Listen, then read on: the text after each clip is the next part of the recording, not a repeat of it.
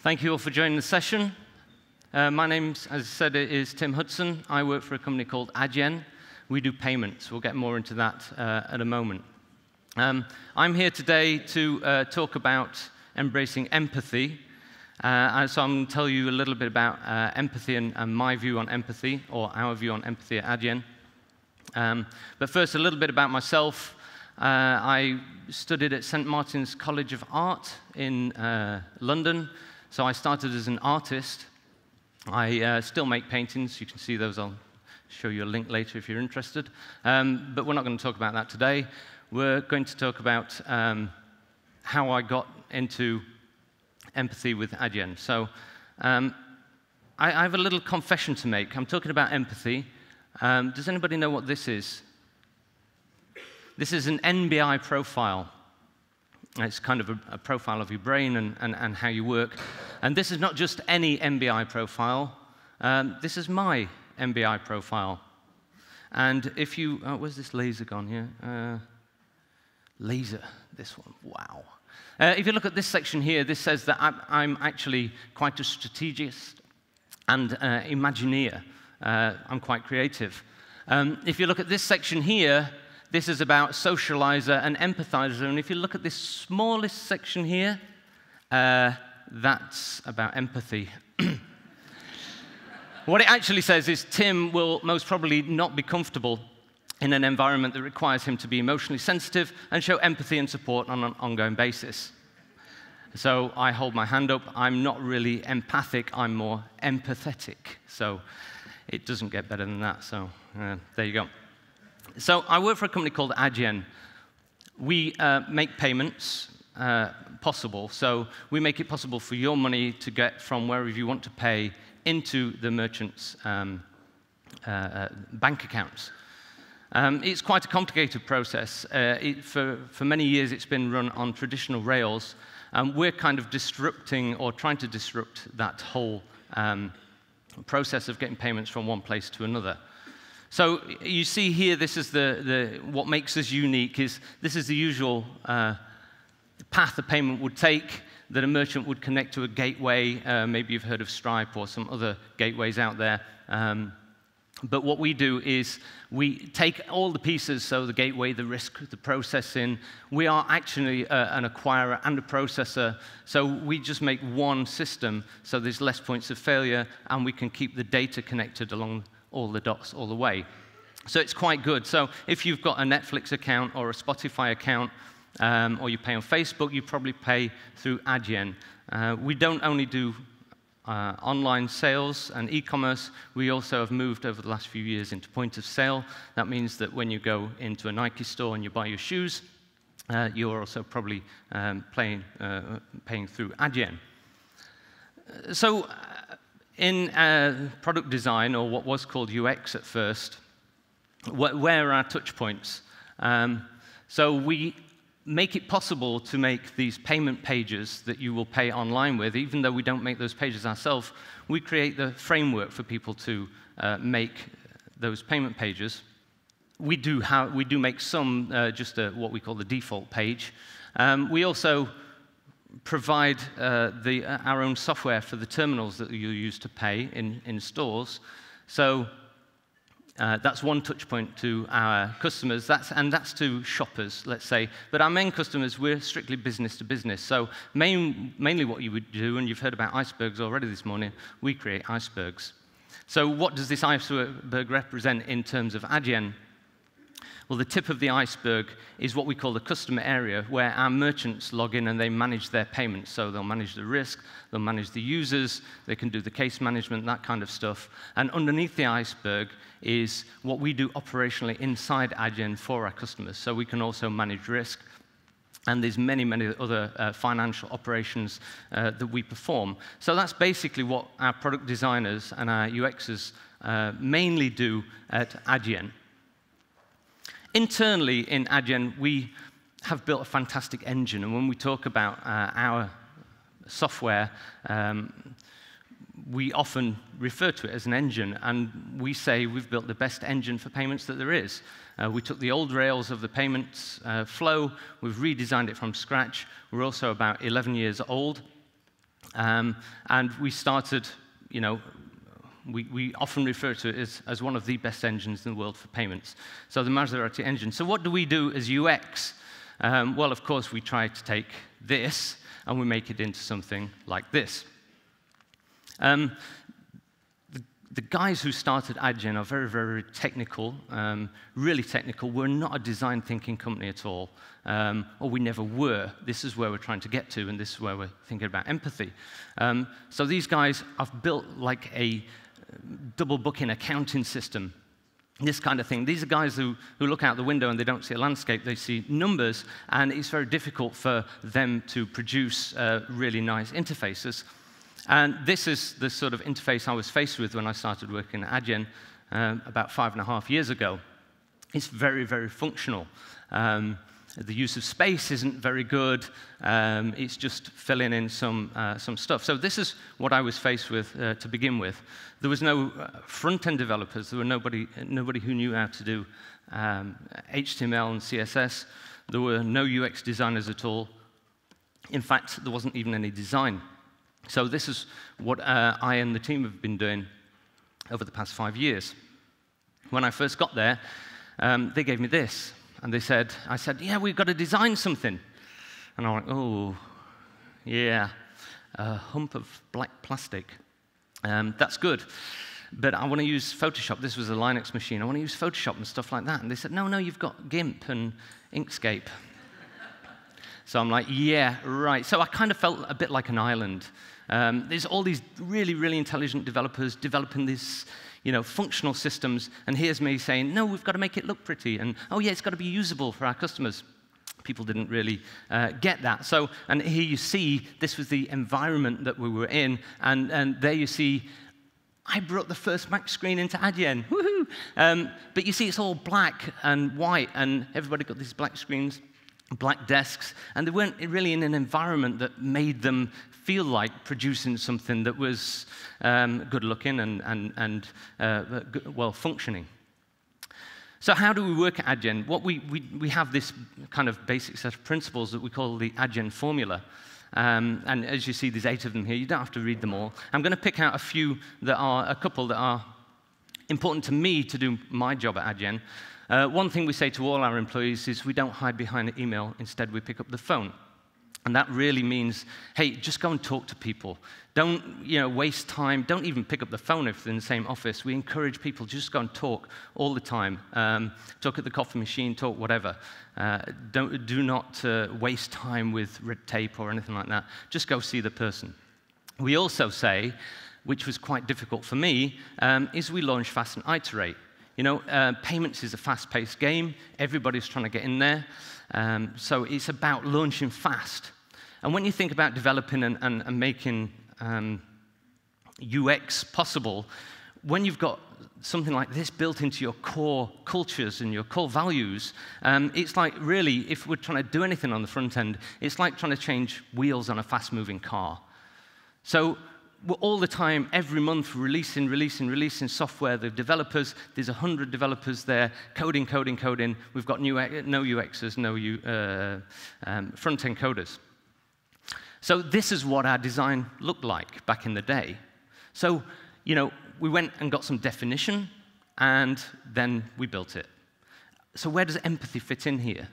Well, it, it, doesn't really. I mean, maybe when you're defining it, you can listen to the customers. What do you want? And everybody knows, probably you're, you're all in UX, I assume, or you're developers, and everybody kind of knows that this is the path that we should have. You know, define, research. Now, there's lots of points in here to put empathy into what you're building. But when you've got no time to do that, and when you're trying to sell this to a fast functioning company, it's quite difficult to get these points in here uh, and get empathy. And, and actually, to do this whole process is quite difficult. So, we wanted to start from somewhere a bit smaller. We wanted to start from principles, just three simple principles. We want our interface to be intuitive, consistent, and helpful. Right? Um, so this was the kind of interface we were faced with back then. Um, and of course, Adyen do payments, and data is very important. So I've just picked, picked one example out of the whole of what we call the back office and the customer area, just to make a point of what's going on and, and what was going on. So here you see um, well, we had data. Great, and, and not many people did at the time. Uh, not many payment service providers did, but we did. And you see, it looked quite pretty, right? It looks great. It's like lots of colors and stuff, but what's actually going on? If you look at the principles, intuitive and helpful, this actually isn't very intuitive.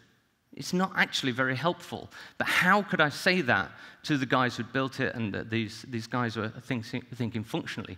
So um, if you see here, you know, we've got a graph that's orange and green, but what does it mean? It doesn't say anything.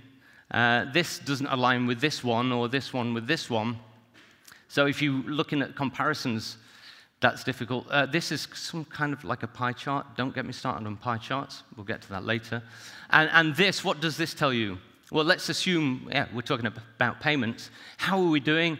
Well, in the world, it's a map of the world. We're doing pretty green in Europe, if you're not colorblind, and in the rest of the world, pretty shitty brown.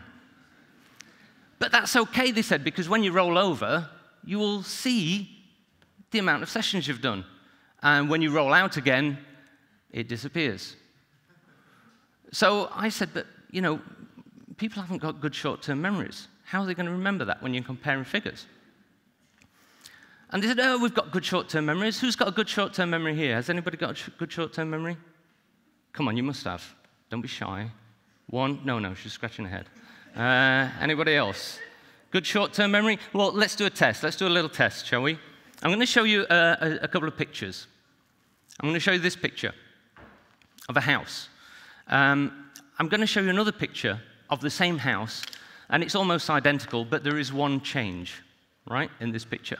And all I want you to do is just remember this picture in your short term memory and look at the next picture and see if you can see what's changed. Now, if you have, don't shout out, you know, that's not going to work because then you'll ruin it for everybody else. I just want to see, just raise your hand slowly if you've seen what's going on here. So, picture number one, picture number two. Did you see what's changed there? Come on, I've only got 25 minutes. Are you ready? We'll go back. Picture number one, did you see it that time? Come on, somebody's got a good short term memory. God's sake. And picture number two. Anybody? Oh, somebody saw it. Woo! Well done. We'll stop at one. Um, what's actually happening here? I always put kittens in because that brings empathy for me. So, um, so what's going on here? Did anybody see Men in Black? I've just got this little thing out of my hand and I've gone, and all your memories just gone like this. Well, no, what's actually going on here is, if you noticed, I put a white blank screen in the middle. So when you look at something and cognitively, when you see something, your brain doesn't see the whole picture. It sees little parts of the picture. Your eyes dot around, and it builds up this frame in your mind of the picture, and you see what it was. When I put that white screen in the middle, what I'm effectively doing is wiping your short term memory because your brain thinks, oh, hang on, forget what I've just seen and see something else. Right? So that's actually what's happening. Unless you're looking at the exact spot that changes when you've got the white screen, it makes the changeover, you won't actually notice what's going on. And, and I guess none of you really were looking at that spot. Um, so let me show you again, and I'm going to remove that white uh, blank screen. I'm not going to do the Men in Black thing anymore. Are you ready? Picture one, picture two. Who saw it that time? Anybody see it? Anybody not see it? Okay. So what we end up with is not a map of the world with green and shitty brown, but we just end up with some bar charts, which clearly show, you know, how you're doing in each of the regions. That's a bit more intuitive. It's a bit more helpful to our customers. So um, pie charts. Oh God. Um, here we go pie charts. This is not just a pie chart, this is lying with data. Can anybody see how this is lying with data? Anybody see this? Yeah, number of people. I'll just point it out. Since when has 19.5 been bigger than 21.2? Yeah, doesn't really work, does it? Uh, who the hell would want to do that? I have no idea. But moving swiftly on. Um, We're not very good at looking at circles. Pie charts are not very good, and I try to eliminate them from Adyen, and I give everybody this talk uh, as an introduction session, and I say to everybody at Adyen, look, look at these circles. Which is the second largest dark green shape there? Can you spot it? Well, you probably can, but it's not that easy, right? Um, to make it more difficult, what I could say is say, take these three uh, dark green shapes. I love doing this, by the way. Uh, I wish my cat was here. Right? I did do that. I did do this presentation for the cat just to practice, and this is where it all broke down. Um, anyway, take these three shapes, and are they bigger or smaller than this shape? Quite difficult to do, right? It's quite difficult because what I'm asking you to do is take a circle. Our brains are not good at looking at circles, and minus another circle and see what's left, right? So that's not really uh, uh, an easy thing to do. Um, but bar charts, height and width, is quite easy to look at, and it's easy for us to judge. Why is that? Everybody just stand up for a minute. Come on, I'm just making sure if you're asleep. Good, good. That took a bit longer than I wanted it to. Just have a look around the room, have a look at your neighbor. Are you taller or smaller than your neighbor? Look at somebody at the back of the room, and are you taller or smaller? I mean, I'm on the stage, but you can probably guess if you're taller or smaller than me, right? Exactly. You can sit down, thank you. Um, it's instinct. We've got a built in instinct to know about height and width. Where does that come from? I guess when we're growing up as cavemen and whatever, and there's animals around, anything bigger than us, we want to run away, and anything smaller, we want to kill and eat. So there we go. It's kind of built in. So it's a lot easier for people to see bar charts. So just use bar charts. It's a lot more intuitive, right? Now, if, if you want to create empathy for yourself, right? So if Adyen didn't want to, uh, what I'm trying to do is make Adyen employees empathize with our customers, right? Now, if I want our customers to empathize with Adyen, that's the, completely the other way around, I could use pie charts. Even though I hate them and I think they're not very intuitive, um, I could use them, like in something like infographics. Why would I do that? Why does a pie chart create empathy the other way around? Well, if you think about it, we like circles. We're not very good at judging them, but we like them. Why do we like circles? Anybody know? Well, we've got round faces and round eyes, and we like to look at round faces and round eyes, right? The bigger and rounder the face and rounder the eye, the more empathy. Oh.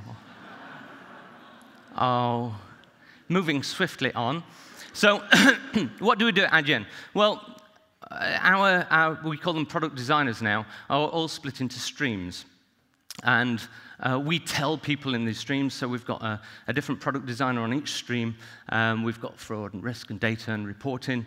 And we, we go through and we, we tell people these things. And we say, look, we want to be not a functional company. Here's the ladder to product success. You may have seen this, may not.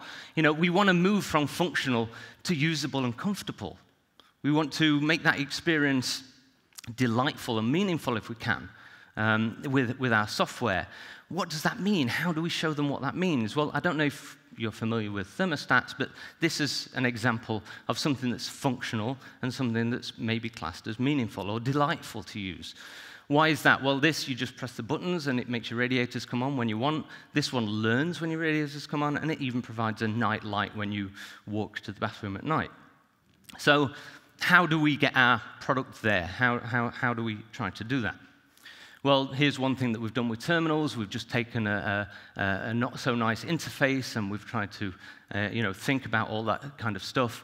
Um, and we've built it into our, our, our terminals. Have we got sound?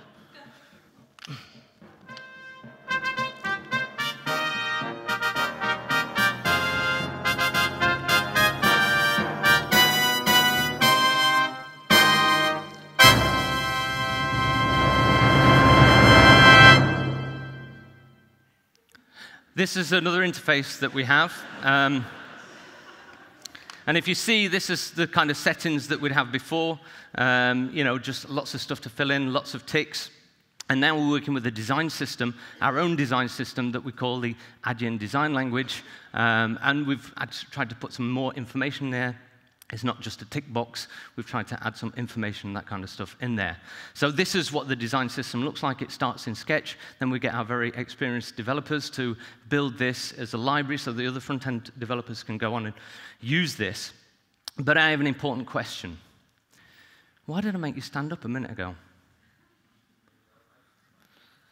Why did we do the um, exercise with memory? Right? What I'm trying to do here, and this is what I put our our developers through and everybody who works at Adyen, I'm doing that because I want you to experience exactly what I'm talking about. It's okay to tell people and show people and make them sit there and see this uh, thermostat and understand it.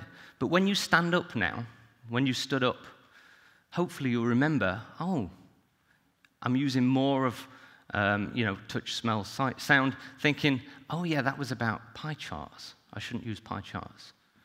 And that memory test, I'm making you empathize with the user because when the user has got to uh, actually click and remember all the, you know, um, data when they're rolling in and rolling out, that doesn't hit home until you make somebody do it. Until I prove to you, hey, cognitively, you're not very good at this stuff. So let's think about the user. So this is how we're trying to uh, bring empathy uh, within Adyen. I talked to you about the environment that we worked in, and I showed you that it was all black and white computers. One thing that we've been doing is making our offices look nicer. You know, these people from Google, and you see all these uh, you know, sleep pods at Google and that kind of thing, great environments. And we're like, why can't we have that environment? So this has really worked. These are our offices around the world. We've now got 14 offices. You see Singapore, New York, San Francisco. Um, but we try and make them look beautiful so people working there uh, are surrounded by good design. We've started to do design sprints. There was a workshop yesterday, very good on design sprints. Who knows what design sprints are? Great. They are very useful. We've, we didn't, last time I gave this talk, we'd not started doing them. I've recently done five or six design sprints, and they've been absolutely wonderful. If you can get the buy-in, now the buy-in's quite difficult because I took this to our um, you know, strategy team and I said, we've got to do design sprints. This is going to be great. And they looked at this. I told them about this book, and you know what they saw? This. Five days Five days with a team of people. Gosh, we launch Fast Way Iterate. Yes, I know, I know, but look, this is going to be so useful. Um, what I did do is a bit of research, and there's some very smart people called AJ and Smart from Berlin. Uh, big up to them, they were fantastic. They've been working with the design sprints for a long time, and they've made design sprints 2.0. So if you're going to use design sprints, please look at this because it's only four days. but it's not four days with all the expensive people because this was the old system Monday, Tuesday, Wednesday. You'd make your sketch, you'd decide the whole group is there for the first three days, um, and then you'd prototype and test on Friday. This is Design Design Sprint 2.0.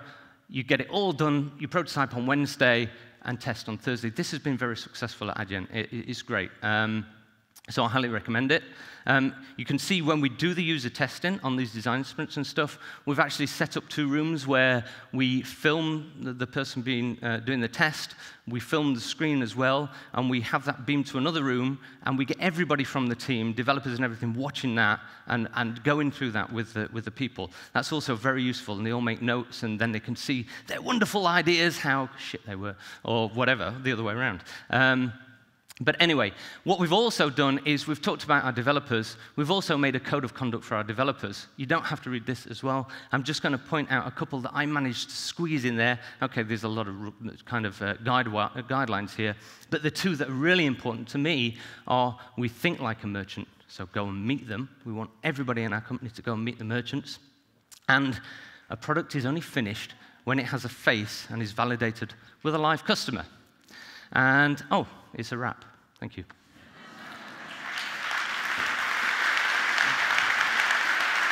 we, uh,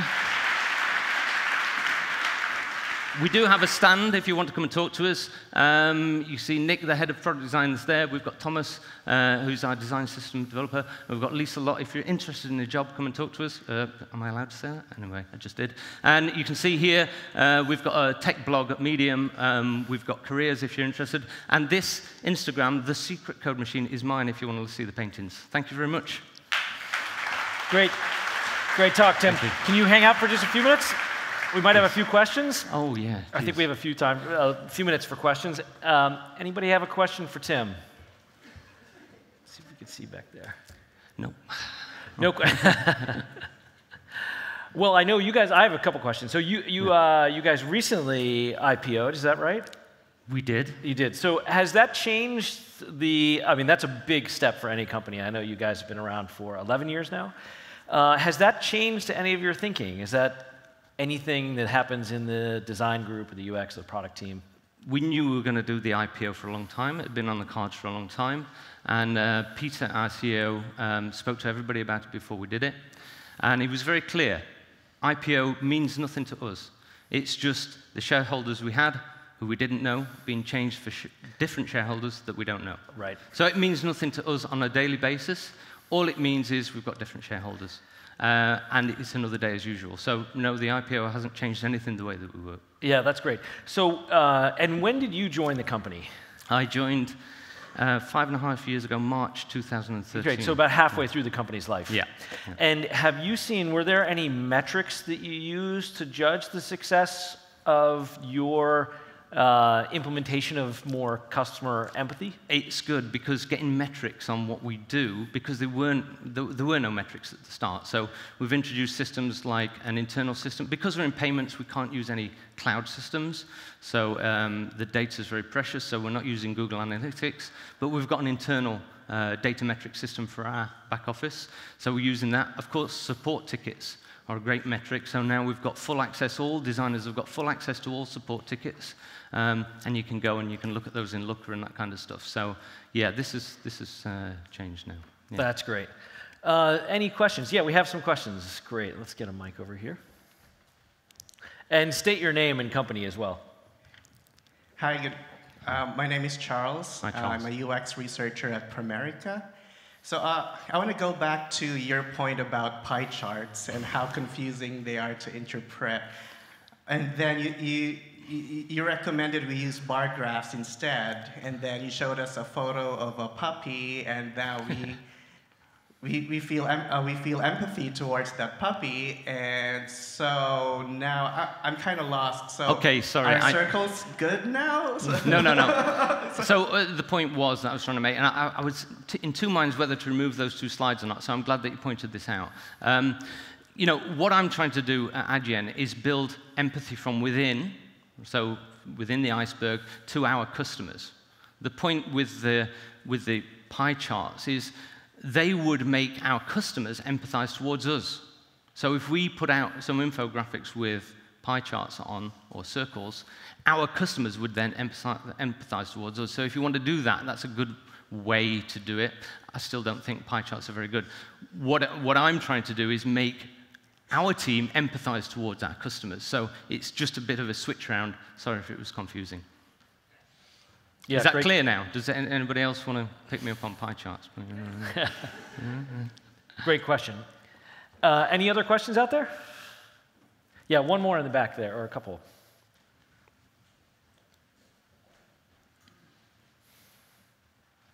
And remember, state your name and your company. Hi, this is Javier from OnTrack. I'm the Chief Product Officer. Um, I was wondering, how do you combine design sprints with the regular work? Um, it's like a, it's very similar? Um, we, we, well, we say design sprints are a tool. You can use them if you want. So the streams are set up in such a way that we have a, a two leaders of the stream. We have a product lead and a tech lead. Um, we've got front-end and back-end developers and business strategists in there. Um, and I've been touting the design sprints because I thought they were a good idea, but we've we by no means enforced them. And before anybody takes a design sprint Adyen, I have to make sure that they've filled in um, really just a, a, little thing to make me know that they're serious about it, that they're going to put the time in and the effort, and that they're going to do the homework before. So they need to find the experts to speak. They need to um, make sure they've got the resources to carry on with whatever we've designed in the design sprint. So there's a lot of conditions that we do when we say, look, these are the conditions, and I'm not going to let you do a design sprint unless you do that. So we kind of build it in. So the, the, the pauses where a design sprint would naturally fit in would be when they've finished a major product, project and they get to the end of a release. Time's up, time's up. Um, the, when they get to a, a release and they're embarking on the next new project, that would be a good time, depending on how big the project was, to do a design sprint. So we want it to fit in naturally. We don't want to force anybody to do it. Great and question. I think that's it. Thanks, Tim. Thank you. Remember to check out his art.